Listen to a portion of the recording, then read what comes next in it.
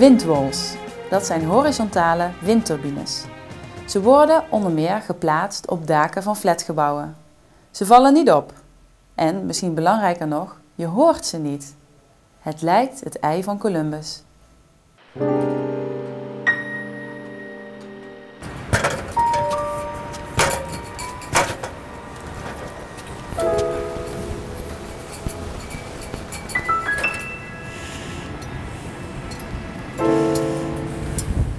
Ergens op een flatgebouw in Amsterdam-Oost. Nou, het is een eh, bijzonder ongunstige dag voor ons. Ja, voor de bewoners in Amsterdam is het een prima dag. Lekkere blauwe hemel en weinig wind. Maar uh, dit is echt uh, voor de windmolen heel erg slecht. Toch zie je hem nog een heel klein beetje draaien. Dus uh, dat is wel weer een fijn teken. En de wind die komt eigenlijk ook van de verkeerde kant. Toch draait hij aardig. En je hoort bijna niets, ook niet als het stormt, zegt de beheerder van dit gebouw. Nou, het, het maakt zo goed als geen lawaai. Er zit hier een vergaderkamer onder, daar hoor je niks.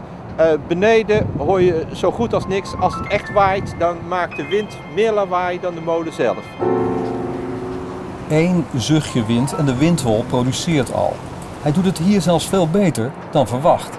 Toen het ontwikkeld werd, gingen we ervan uit dat er uh, ongeveer anderhalf huishouden uh, energieoplevering zou zijn. Maar zoals het er nu naar uitzicht uh, is, de, is de opbrengst een stuk groter. Het is zelfs zodanig dat we twijfelen of de, de meetgegevens wel juist zijn, want het lijkt er wel op alsof uh, iets van uh, 8, 9 huishoudens het uh, oplevert. zou dat kloppen? het zou kunnen kloppen, want het verbaast mij wel dat zelfs met, met oostenwind dat er nog zo'n goede productie is.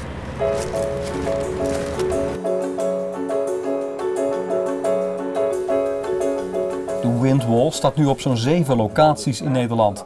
En de kostprijs is dus nog fors. Um, zo'n locatie zoals die hier op het, uh, op het dak staat, moet je ongeveer denken aan 25.000 euro. En dat is best een behoorlijk bedrag als je dat als particulier zou moeten uitgeven. Dus, uh, ja, aan de andere kant, je hele dak vol met, uh, met zonnepanelen is ook zo ongeveer dat bedrag. Ja, ja. en dan is de vraag wat er meer oplevert. En ja. wat is dan het antwoord? Dan levert op een, uh, op een redelijke windlocatie een windwol veel meer op. Ja. Heeft u ze thuis al eentje? Nee, want de, mijn huis is niet zo uh, gunstig gelegen. Maar ik heb er wel degelijk over nagedacht. De liggende windturbines worden gemaakt door de firma Windwol BV in Delden. Het is moeilijk te zeggen hoeveel toekomst ze hebben. Nou, ja, er is eigenlijk geen marktonderzoek naar gedaan. Het is allemaal uh, nieuw, dus we weten het eigenlijk niet. We weten alleen dat er heel veel aanvragen zijn op internet. Dus we zijn eigenlijk nu uh, elke dag wel een offerte aan het uitbrengen. Het, is echt, het loopt echt, wat dat betreft uh, heel erg goed. En hoe, hoe, verklaart u dat dan zo opeens? Uh, omdat het heel erg moeilijk is om die hele grote windmolens waarvan u daar dan zo'n wiek ziet, om die nog in Nederland geplaatst te krijgen.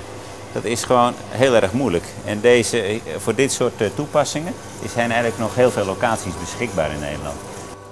Volgens een studie uit 2004 zijn er volop kansen op daken, langs wegen, in havens en op industrieterreinen. Maar, ter vergelijking, 2 kilometer aan windwalls levert evenveel op als één grote windmolen. Dat is het verschil. Ja. Maar het, het, is ook niet een concurrent van elkaar, het vult elkaar aan. Dus op plekken waar je die hele grote jongens niet uh, kwijt kan, daar moet je deze plaatsen.